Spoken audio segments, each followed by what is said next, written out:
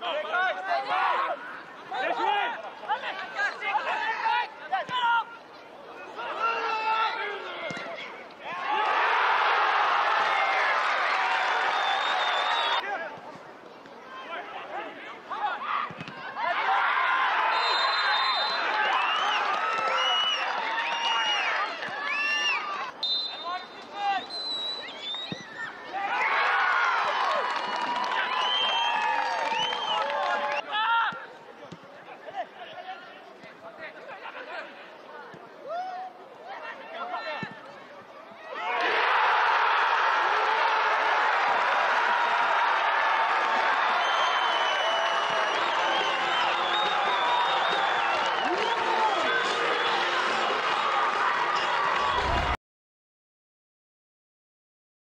Vantaði ekki færin þegar fylki tók á móti leikni.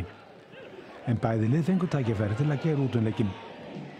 Leikmunum begja liða virtist hins vegar fyrirmunið að skora, ekki síst leikmunum fylkis, en markvöðu leiknis Skæði Smith átti stóleik á milli stangana og varði oftar en ekki meistarlega í leiknum og liðin sættust á skiptan hlut 0-0. Daði Ólason fylki fekk að líta rauða spjaldið undir lokleiks við litla hrifningu. Fylkir með 15 stygg í nýjönda sæti, leiknir í því sjönda með 18 stygg. Það er ekki alveg nógu ánægð með svona heldina. Við áttum alveg góð moment og, og svona, mér